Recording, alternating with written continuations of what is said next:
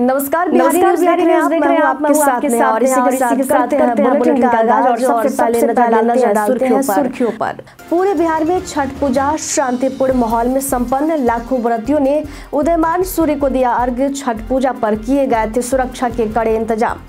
बिहार के किसानों के लिए खुशखबरी पचहत्तर प्रकार के कृषि यंत्रों पर मिलेगा अनुदान एस सी को 80 प्रतिशत तक मिलेगा अनुदान।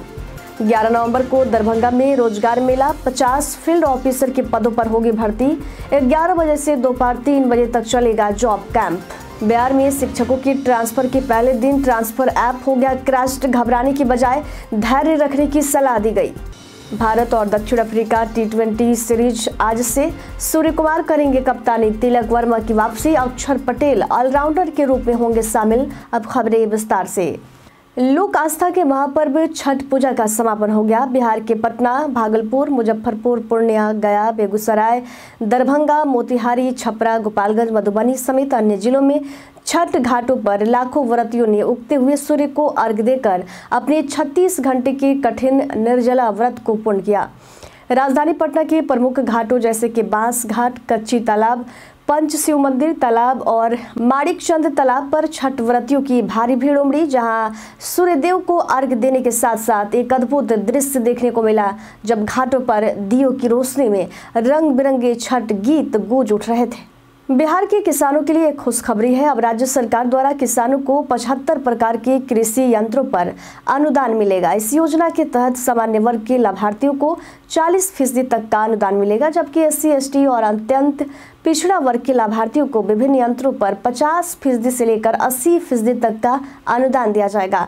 मखाना, पॉपिंग मशीन, मिनी दाल मिल ट्रैक्टर चालित मिनी राइस मिल और यहाँ तक कि रोटरी मल्चर जैसे यंत्र किसानों के लिए उपलब्ध होंगे। इसके अलावा किसान अब ट्रैक्टर चालित छः सात और आठ फीट के super seeder, paddy extra chopper, zero tillage, square baler और भी कई आधुनिक उपकरणों का उपयोग कर पाएँगे। बिहार में आयोजित महिला एशियाई चैंपियंस ट्रॉफी 2024 का आगाज़ 11 नवंबर से 20 नवंबर तक होगा जिसमें भारत चीन जापान मलेशिया कोरिया और, और थाईलैंड जैसी टीमें भाग ले रही हैं। जापान और चीन की टीमें गुरुवार को राजगीर पहुँच चुकी है। चीन की टीम जो पेरिस ओलंपिक में रजत पदक की विजेता रही थी, इसने इस प्रतियोगिता के लिए उत्साह जताया। चीनी कोच हुआंग योंग सिंह ने कहा कि उनकी टीम नए युवा खिलाड़ियों को अनुभव देने के लिए तैयार है। वहीं जापान की टीम भारत लौटने को लेकर बहुत उत्साहित है और कोच ओजावा काजू यूकी ने कहा कि वे भारतीय दर्शकों से मिलकर बहुत उत्साहित है। प्रतियोगिता में 11 नवंबर को चीन का मुकाबला थाईलैंड से और जापान का मुकाबला जो है कोरिया से होगा, जबकि 16 और 17 नवंबर को चीन और जापान भारत से भिड़ेंगे। शिक्षकों के ट्रांसफ़र के लिए आवेदन लेने का काम शुरू होते ही ट्रांसफ़र ऐप क्रैश्ड हो गया, जिससे शिक्षकों को टाइम आउट का नोटिफिकेशन मिलता रहा। शिक्षकों ने देर रात तक कोशिश की, लेकिन तकनीकी समस्या बनी रही। ऐसे में सरकार ने शिक्षकों को घबराने के बजाय धैर्य रखने की सलाह दी है। सरकार ने शिक्षकों को पंद्रह दिन का समय दिया और शिक्षा अपर मुख्य सचिव डॉक्टर सिद्धार्थ ने कहा कि शिक्षकों को हड़बड़ी में फॉर्म भरने की ज़रूरत नहीं है, क्योंकि अभी समय पर्याप्त है। बिहार सरकार ने शिक्षकों के लिए ई शिक्षा कोर्स पोर्टल पर आवेदन भरने की समय सीमा 22 नवंबर तक निर्धारित की है। इस दौरान इच्छुक शिक्षक आवेदन कर सकते हैं। बिहार में इन दिनों वायु गुणवत्ता बेहद खराब हो गई है। राज्य के कई हिस्सों में आज सुबह हल्का कोहरा छाया रहा, जिससे प्रदूषण का स्तर बढ़कर खराब श्रेणी में पहुँच गया है। राजधानी पटना समेत गया मुजफ्फरपुर, हाजीपुर, सासाराम, सिवान और अन्य शहरों में वायु गुणवत्ता सूचकांक ए क्यू आई चिंताजनक स्तर पर रिकॉर्ड किया गया। पटना के समानपुरा में ए क्यू दर्ज किया गया, जो खतरनाक श्रेणी में आता है। गया और मुजफ्फरपुर में भी ए क्यू के ऊपर रहा। केंद्रीय प्रदूषण नियंत्रण बोर्ड के अनुसार अनुसार, इन शहरों में वायु प्रदूषण स्वास्थ्य के लिए हानिकारक हो सकता है। इधर दरभंगा में 11 नवंबर सोमवार को संयुक्त श्रम भवन के कार्यालय परिसर में रोज़गार मेला का आयोजन किया जाएगा। ये मेला Mitrata exclusive financial services private limited द्वारा आयोजित किया जा रहा है, जिसमें 50 फ़ील्ड ऑफिसर के पदों के लिए इंटरव्यू लिया जाएगा। अवर प्रादेशिक नियोजालय के नियोजन पदाधिकारी मृणाल कुमार चौधरी के अनुसार ये मेला सुबह 11 बजे से 3 बजे तक चलेगा। अभ्यर्थियों की आयु सीमा 32 वर्ष है और दसवीं तथा बारहवीं कक्षा तक की शिक्षा आवश्यक है। चयनित उम्मीदवारों को तेरह हज़ार से सत्रह हज़ार रुपए मासिक वेतन मुफ़्त आवास, फ्यूल खर्च और अन्य लाभ भी दिए जाएँगे। इच्छुक उम्मीदवारों को नियोजालय या भारत सरकार के एनसीएस पोर्टल पर निबंधन कराना अनिवार्य है। बिहार में फ़िलहाल ठंड के आसार नहीं है। मौसम विभाग के मुताबिक आगामी कुछ दिनों में तापमान में कोई बड़ी गिरावट होने की संभावना नहीं है। पटना भागलपुर, पूर्णिया, गया और मुजफ्फरपुर समेत सभी जिलों में मौसम फ़िलहाल सामान्य रहेगा। दीपावली और छठ पूजा के बाद आमतौर पर ठंड की शुरुआत हो जाती है, लेकिन इस बार नवंबर के पहले सप्ताह के बाद भी ठिठुरन का एहसास नहीं हुआ है। वही दो दिन बाद तापमान में हल्की गिरावट आ सकती है। मौसम विभाग के मुताबिक राज्य में फ़िलहाल किसी भी चक्रवाती गतिविधि या बारिश की संभावना नहीं है। इधर बिहार के छपरा ज़िले के तरैया थाना क्षेत्र के पचभिंडा गाँव में आज सुबह छठ पूजा के दौरान एक बड़ा हादसा होता है।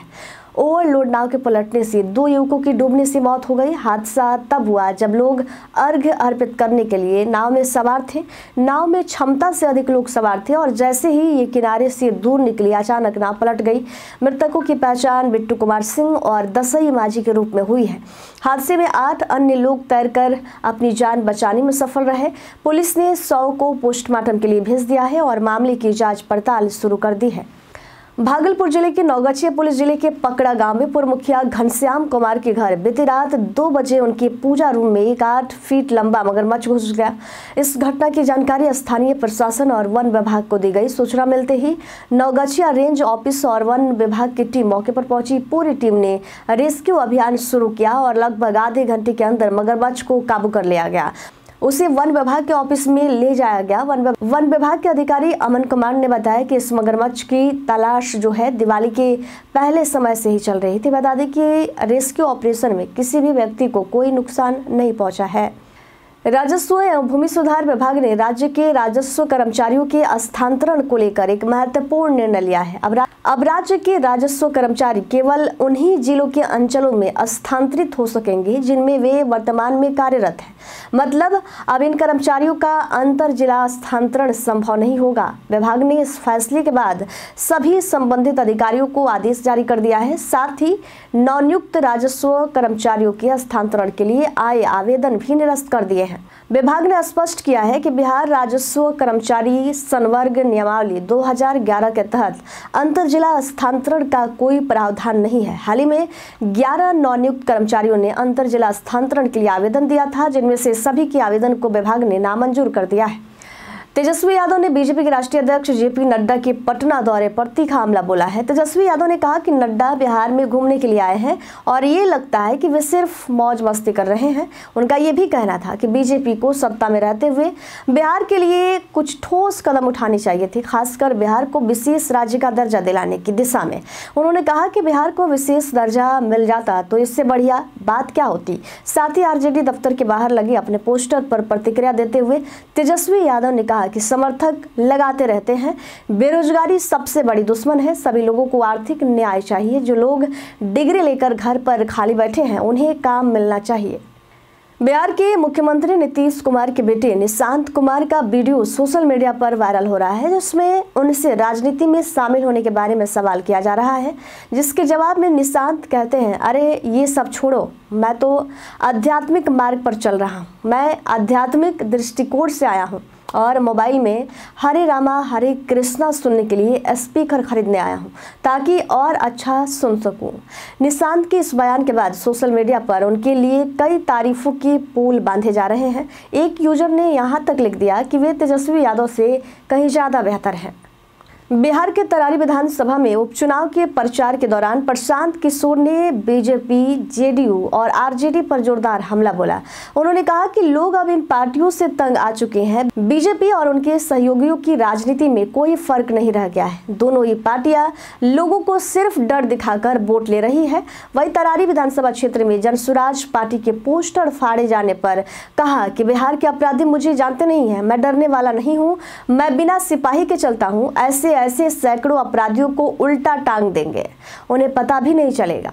बिहार में नेता चार गनमैन लेकर चलते हैं, लेकिन मैं पिछले दो साल से पैदल चल रहा हूँ, एक भी सिपाही नहीं।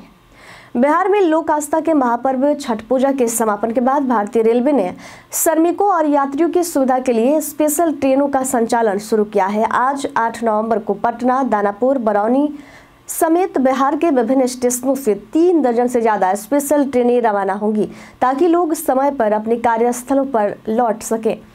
पटना जंक्शन से खुलने वाली प्रमुख जो स्पेशल ट्रेन है, बता दें कि ट्रेन नंबर ज़ीरो दो तीन नौ तीन, Patna, New Delhi special via DDU Prayagraj, रात आठ बज के दस मिनट पर खुलेंगे। ट्रेन नंबर ज़ीरो नौ तीन चार चार, पटना, अंबेडकर नगर स्पेशल वाया, प्रयागराज सतना दामोह, रात साढ़े नौ बजे ट्रेन नंबर ज़ीरो नौ चार चार आठ, Patna, Ahmedabad special via DDU Kanpur, Agra, coat, Kota, रात साढ़े दस बजे। इसके साथ ही बिहार के अन्य स्टेशनों से भी ट्रेनें रवाना होगी। जो ट्रेनें चलने वाली हैं, उनकी सूची आप हमारे स्क्रीन पर देख सकते हैं। भारत और दक्षिण अफ्रीका के बीच आज से किंग्समीट डरबन में शुरू हो रही चार मैचों की टी ट्वेंटी सीरीज़ का पहला मुकाबला अहम होगा। भारतीय टीम जिसका नेतृत्व तो सूर्य कुमार यादव करेंगे, सीरीज़ की शुरुआत शानदार तरीके से करना चाहती है। बांग्लादेश के खिलाफ हालिया सीरीज़ में बदलाव के बाद इस बार टीम में तिलक वर्मा की वापसी हो सकती है। जबकि अक्षर पटेल को ऑलराउंडर के तौर पर शामिल किया गया है। स्पिन विभाग में रवि बिश्नोई को मौका मिल सकता है। तेज गेंदबाजों में अर्शदीप सिंह आवेश खान और यश दयाल की तिकड़ी खेल सकती है। चोट के कारण रियान पराग और मयंक यादव बाहर है। नीतीश कुमार रेड्डी, वाशिंगटन सुंदर और हर्षित राणा को टीम में नहीं चुना गया है। संभावित प्लेइंग इलेवन में सूर्य कुमार यादव कप्तान, संजू सैमसन विकेट कीपर अभिषेक शर्मा, रिंकू सिंह, तिलक वर्मा, हार्दिक पांड्या अक्षर पटेल, रवि बिश्नोई अर्शदीप सिंह, आवेश खान और यश दयाल है। बीते दिन हमारे द्वारा पूछे गए सवाल का जवाब आप लोगों में से बहुत लोगों ने हमारे कमेंट बॉक्स सेक्शन में लिखकर दिया है, जिन्होंने हमारे द्वारा पूछे गए सवाल का जवाब दिया है। उनके नाम है अनवर करीम खान, परमानंद पंडित, रंजीत मिश्रा, राकेश मिश्रा, जितेंद्र ठाकुर दिलखुश दीपक कुमार, राम बाबू दास, कुमार देव, मोहम्मद साकिर हुसैन, रंजीत यादव, राम सागर पासवान, बाबूलाल मरांडी, मोहम्मद असलम, कामेश्वर सिंह, पंकज कुमार, रवि कुमार राम, अरमान कुमार। इसी के साथ बढ़ते आज के सवाल की ओर। आज का सवाल है भारत और दक्षिण अफ्रीका के बीच आज से किंग्समीड में होने वाले मैच में किसका पलड़ा भारी है? आप अपना जवाब हमें हमारे कमेंट सेक्शन में लेकर ज़रूर बताएँ। आज के लिए इतना ही। बिहार के तमाम खबरों के साथ बने रहने के लिए देखते रहे बिहारी न्यूज़ और साथ ही अगर आप यूट्यूब चैनल पर देख रहे हैं तो चैनल को सब्सक्राइब करें। और अगर आप फेसबुक पेज पर देख रहे हैं तो लाइक और फॉलो ज़रूर कीजिएगा। धन्यवाद।